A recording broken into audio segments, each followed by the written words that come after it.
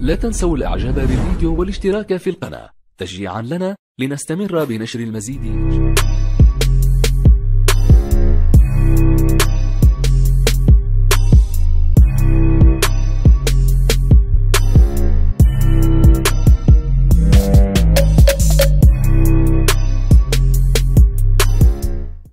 هذه هذه النقطة. أما إذا كان فكرة القضية المرحلة الانتقالية. شوف ما الرئيس الفرنسي يجب أن نؤكد على قاعدة هامة. إذا أردت أن تعرف إلى أين يتجه آه، آه، النظام الجزائري لا تفتش في تصريحات المسؤولين ولا تفتش في وسائل الإعلام. غالبا ودائما وسائل الإعلام تحاول تشغل الجماهير بأشياء أخرى غير الشيء الحقيقي الذي يخططون له لكن روح ما هي التصريحات التي تأتي على ألسنة المسؤولين في فرنسا؟ ابحث هناك. لو ذهب رجعنا شوية إلى الخلف. نلقى الرئيس الفرنسي إيمانويل ماكرون تحدث عن مرحلة انتقالية معقولة في 12 مارس 2019 لما بوتفليقه أعلنوا أنه لن يترشح لعهدة خامس. تحدث عن مرحلة انتقالية معقولة. قضية المرحلة الانتقالية يجددها في 20 نوفمبر 2020 بعد زيارة وزير الخارجية أو عفوا وزير الداخلية.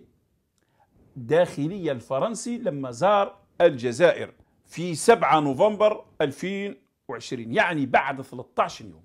وزير الداخلية الفرنسي لما زار الجزائر زارها من قضية من أجل قضية قضية تعاملات واتفاقات أمنية أيضا قضية الحراقة الجزائريين الموجودين في فرنسا ولكن على ما يبدو أنه تم إطلاعه على ما حدث أو أنه قدمت له التفاصيل ما يجري مع رئيس الجمهورية لعلمكم أنه آخر ظهور لرئيس الجمهورية كان في 15 10 2020 كان مع وزير الخارجية الفرنسي.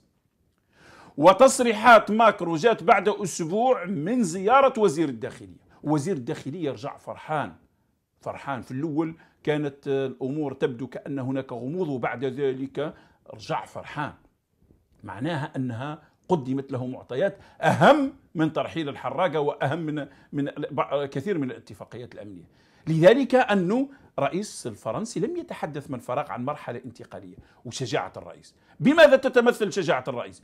إما شجاعة الرئيس أنه أدرك بأن وضعه الصحي سيء وواجه الأمر أو أنه سيتخذ قرار مثل الاستقالة مثل أنه يرجع وهو بنفسه يعلن مرحلة انتقالية مثل هذه الأشياء ونحن ندرك بأن كلمة شجاعة الشجاعة وردت في يوم واحد مع ماكرون والرسالة اللي تحدثت عليها رئاسة الجمهورية حول المستشارة الألمانية أنجيلا مارك أنها تحدثت عن شجاعة الرئيس وماكرو أيضا تحدث عن شجاعة الرئيس. ليس صدفة.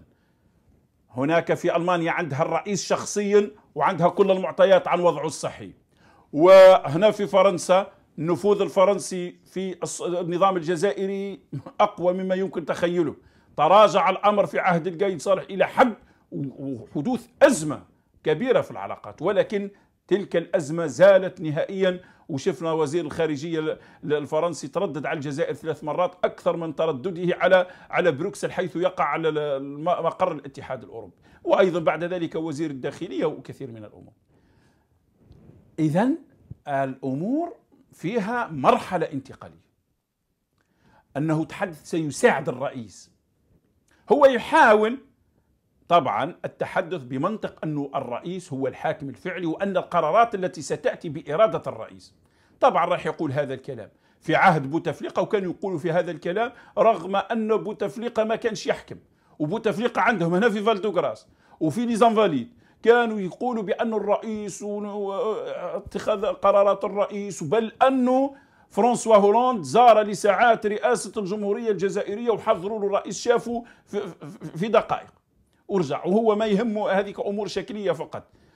على كل حال ليس هذا الموضوع بقدر ما نؤكد على أن تصريحات الرئيس الفرنسي ماكرون ليست اعتباطية كما يتوهم البعض وليست فقط تسمية الأمور بغير مسمياتها الأمر الذي يثبت أن هذه التصريحات جاءت بناء على معطيات قدمت من السلطات الجزائرية وطبعا تحديدا من السلطات الأمنية في الجزائر قدمت لوزير الداخلية أنه ولا أحد مسؤول جزائري رد على الرئيس الفرنسي. ولا حد. ولا رئاسة الجمهورية تدير حتى بيان تنسبوا لرئيس الجمهورية. ما والو. سكتوا. أنتم تقولوا من قبل تقولوا بأننا بدأنا نرفض المرحلة الانتقالية. ما فيش مرحلة انتقالية. كانوا بعض الوجوه البارزة من الحراك الشعبي تحدث عن مرحلة انتقالية يجري تخوينهم وسجنهم. ودائما ما كانش مرحلة انتقالية. بعد 12 12 انتهت فكرة المرحلة الانتقالية. الجزائر لديها رئيس منتخب بدأ بالدستور وبعد ذلك يروح للمؤسسات.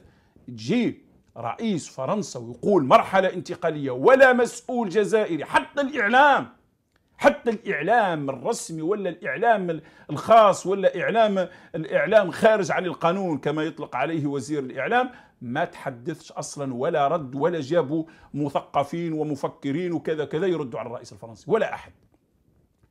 قال إذا هناك مرحلة انتقالية. كيف ستكون المرحلة الانتقالية؟ أكيد مرتبطة بالوضع الصحي للرئيس.